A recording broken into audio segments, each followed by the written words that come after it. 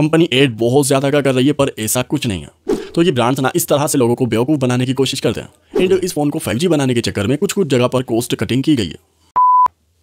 ये है Poco M six five G इसे हमने खुद परचेज किया था एंड देन इसे अच्छे से यूज़ किया है। ये काफ़ी सस्ता 5G फ़ोन है Dimensity six one double zero plus chipset के साथ आता है। डिज़ाइन अच्छा है, लेकिन क्या इस फ़ोन को परचेज करना चाहिए? इसी बात का जवाब दूँगा। बाय द वे मैंने रेंडमली यूट्यूब पर एक दो वीडियोस देखी, इसके रिव्यू पर काफ़ी ज़्यादा इसके बारे में बढ़ा चढ़ा कर बताया जा रहा था। मैं नाम नहीं लूँगा किसी का but be careful well well well first of all दिल से थैंक्स कि यार आप लोग हमारी वीडियोस को इतना पसंद कर रहे हो। मुझे तो कभी नहीं आई। इंसानों के लिए। अबे साले। हाँ जी चलो बात करते हैं। And listen if you have any question after watching the video then comment us बिना शर्माए।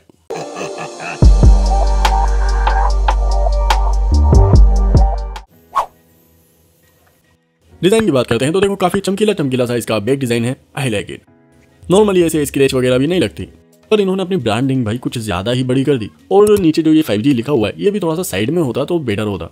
खैर, ये छोटी मोटी चीज़ें हैं, इनसे फ़र्क नहीं पड़ता। वेट है अराउंड 195 ग्राम्स राइट साइड है volume button power button with fingerprint yes यहाँ पर मिलता है फिंगरप्रिंट सेंसर जो कि काफ़ी अच्छे से काम करता है। नीचे है एक single speaker type C port and mike left में सिम इजेक्टर पिन यहाँ पर दो सिम एक मेमोरी कार्ड लगा सकते हो। मेमोरी कार्ड को जायदाद में अलग से जगह दी गई है, जिसमें मस्त मूवीज़ वगैरह भरवाओ और आँखें फाड़ कर देखो।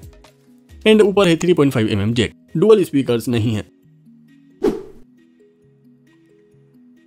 ओके अब बात करते हैं डिस्प्ले की।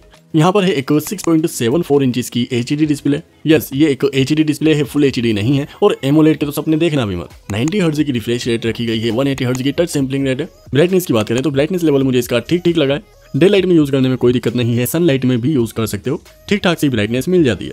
मैंने इसे अदर फोन्स के साथ भी कंपेयर किया जो कि एच डिस्प्ले के साथ आते हैं। एंड हमने देखा कि इसकी डिस्प्ले थोड़ी ब्लू स्टोन देती है। कूलर साइड ज़्यादा रहती है। यूट्यूब पर जब हमने वीडियो देखी तो इसके कलर्स वगैरह मुझे काफ़ी अच्छे लगे। पर हाँ एक छोटी सी चीज़ है जो कि फिक्स हो सकती थी। जो पंची कलर्स होते हैं, वो थोड़े से मिसिंग है। और ये इसलिए भी है कि इसकी डिस्प्ले वोम नहीं है।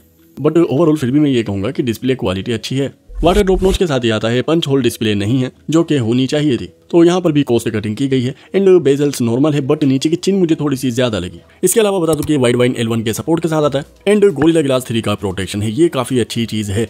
और गोरिल्ला ग्लास थ्री होने की वजह से सुपरमैन का छोटा भाई बन जाता है। तो ड्यूरेबिलिटी पर काम किया गया है। वैसे एक और चीज़ बता दूँ कि 6.74 इंचेस की डिस्प्ले एक अच्छी खासी बड़ी डिस्प्ले होती है। तो अगर थोड़े से बड़े साइज़ के फ़ोन अच्छे लगते हैं तो ही इसे कंसीडर करना। और छोटे हाथ वाले लोगों इससे थोड़ा दूर रहें रिस्पेक्टिवली बाद में मत कहना, बताया नहीं।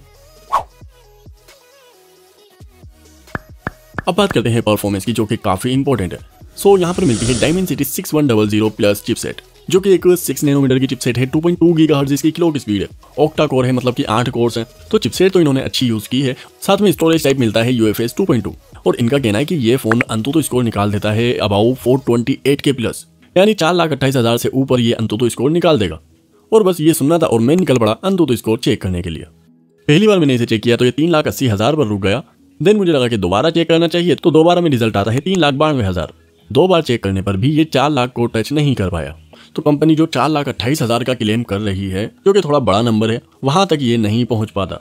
ये गड़बड़ है बाबा! मेरी ये बात चाहे बिलान को बुरी लग सकती है पर भाई रियलिटी है। इसमें हमने काफ़ी देर तक गेमिंग भी की है। तो देखो बता दूँ कि ग्राफिक्स ना ये मैक्सिमम एच तक सपोर्ट करता है। एच पर फ्रेम रेट से हाई करके हमने खेला। मज़ा आया। और तुम्हारे भाई ने लाशें बिछा दी। बारह किल किए थे।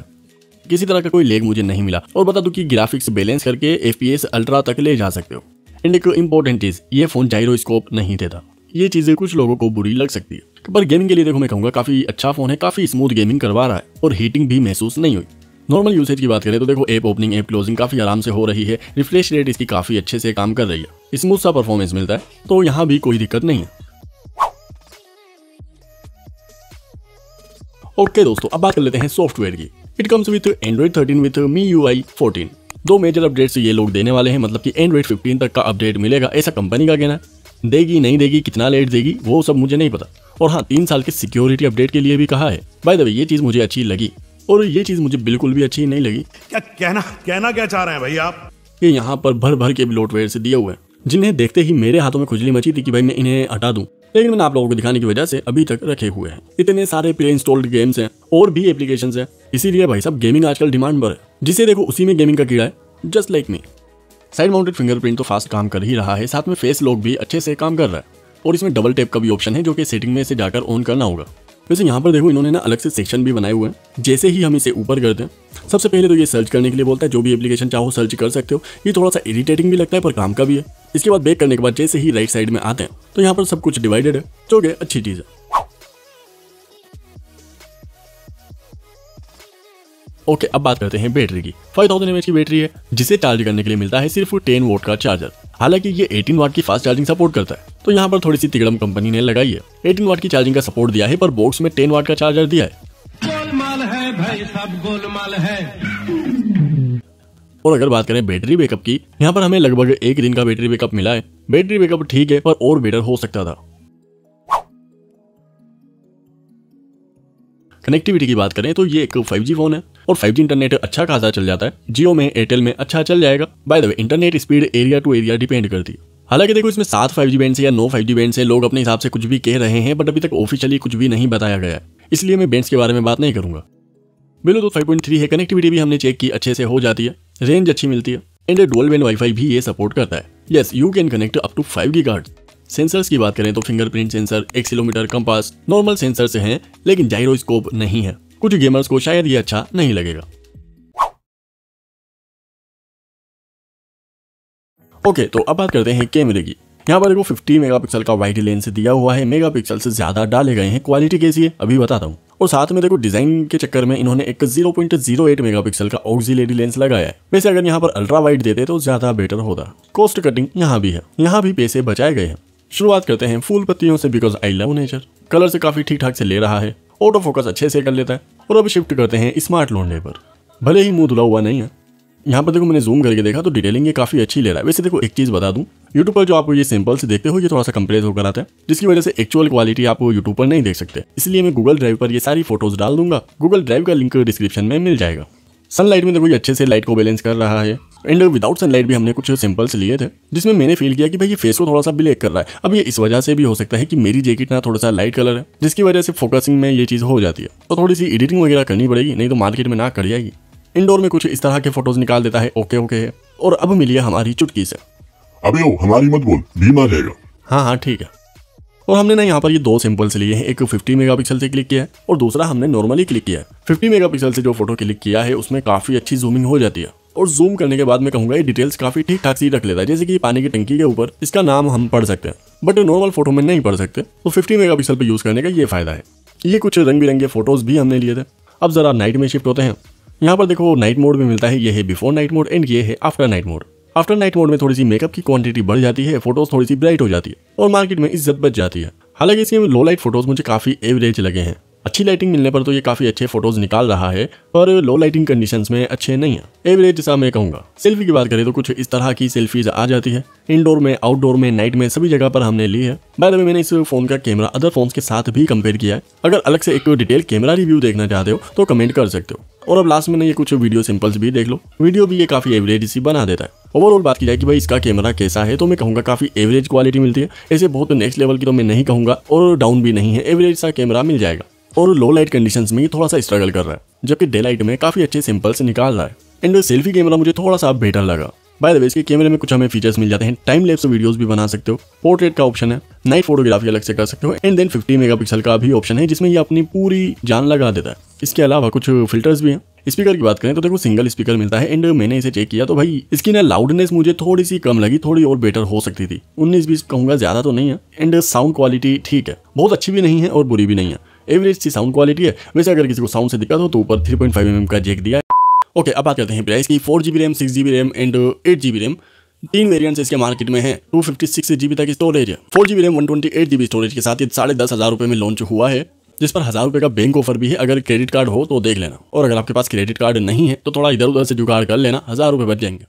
ओके अब बात करते हैं प्रोज एंड कॉन्स की which is very very important pros की बात करें तो देखो परफॉर्मेंस अच्छा है Dimensity six one double zero plus एक अच्छी चिपसेट है और अच्छे बजट में दी गई है। और साथ ही ना यहाँ पर ये बड़ी डिस्प्ले दी गई है। बड़ी डिस्प्ले होना कुछ लोगों के लिए प्रोज होता है, कुछ के लिए कॉन्स भी होता है बाय द वे एंड एक चीज़ और अच्छी लगेगी, इसका जो ये डिज़ाइन है, मेरे पास ये ब्लू कलर में आई थिंक इसे ब्लू ही कहते हैं। ये थोड़ा सा कलर भी चेंज करता है। खैर, जो भी है अच्छा है। वाइट वाइन एल का सपोर्ट है नेटफ्लिक्स पर कंटेंट देखने में मज़ा आएगा and it comes with Gorilla glass three protection तो ये इसके कुछ प्रोज हैं जो इस फ़ोन में अच्छी चीज़ें मिली है। पर हाँ यहीं कौन की लिस्ट भी है। यहाँ पर देखो 18 वाट की फास्ट चार्जिंग सपोर्ट करता है, लेकिन बॉक्स के अंदर मिलता है सिर्फ़ 10 वाट का चार्जर और देखो, मैंने इनकी वेबसाइट पर विज़िट किया, जहाँ पर साफ़ साफ़ लिखा हुआ था 18 वाट फास्ट चार्जिंग लेकिन वहीं छोटा सा लिखा हुआ था कि भाई, इसमें आपको 10 वाट का चार्जर मिलेगा। तो ये ब्रांड्स ना इस तरह से लोगों को बेवकूफ़ बनाने की कोशिश करते हैं। हालाँकि कभी कभी हम जैसे लोग गले की हड्डी बन जाते हैं। यार, तेरी शक्ल चाहे कैसी भी है, पर दिल का तो अच्छा है। ये तू इज़्ज़त दे रहा है या ले रहा है? और देखो, इसमें ना वाटर ड्रॉप नोच है पंच होल नहीं है। और हाँ बॉक्स में ना बैक कवर भी नहीं देते। कंजूस तो कॉस्ट कटिंग काफ़ी ज़्यादा की गई है। इसका कैमरा मुझे कुछ कंडीशंस में अच्छा लगा। सेल्फी कैमरा अच्छा काम कर रहा है। 50 मेगापिक्सल पे शिफ्ट होने के बाद भी ये अच्छे फ़ोटोज़ ले लेता है। बट ओवरऑल अगर मैं कहूँ तो एवरेज कैमरा है। कैमरा और बेटर होना चाहिए था। एंड लास्टली अंत तो स्कोर्स कंपनी मार्केटिंग कर रही है चार लाख अट्ठाईस हज़ार। जबकि हमने इसे दो बार चेक किया और ये चार लाख भी टच नहीं कर पाया। कंपनी एड बहुत ज़्यादा का कर रही है, पर ऐसा कुछ नहीं है। एंड इस फ़ोन को 5G बनाने के चक्कर में कुछ कुछ जगह पर कॉस्ट कटिंग की गई है। So overall pros and cons खुलकर मैंने सामने रख दिया जो कि शायद भाई इतना डिटेल में आपको हर कोई नहीं बताएगा। अब ये आपके ऊपर है कि आपको आपके पैसे कहाँ पर इन्वेस्ट करने हैं। ओवरऑल अगर बताऊँ गेमिंग के लिए फ़ोन चाहिए तो मैं कहूँगा बड़ी डिस्प्ले है परफॉर्मेंस बेटर है तो इसे कंसीडर कर सकते हो। इसके अलावा डिज़ाइन भी अच्छा है गोरिल्ला ग्लास थ्री का प्रोटेक्शन है तो ये अच्छी चीज़ है। तो बताना मेरा काम है डिसीज़न लेना तुम्हारा काम है। एंड लिसन ये चैनल ना अभी न्यू है यूट्यूब पर, अगर कंटेंट पसंद आया तो सपोर्ट कर सकते हो। सपोर्ट मीन्स वही लाइक शेयर सब्सक्राइब किडनी नहीं मांग रहा। तू मांग के तो देख, अगर तेल ही ना बेच दी तो। ओके ओके चलो, ठीक है, आज के लिए इतना ही। मिलता अगली वीडियो में, तब तक के लिए गुड बाय जय हिंद।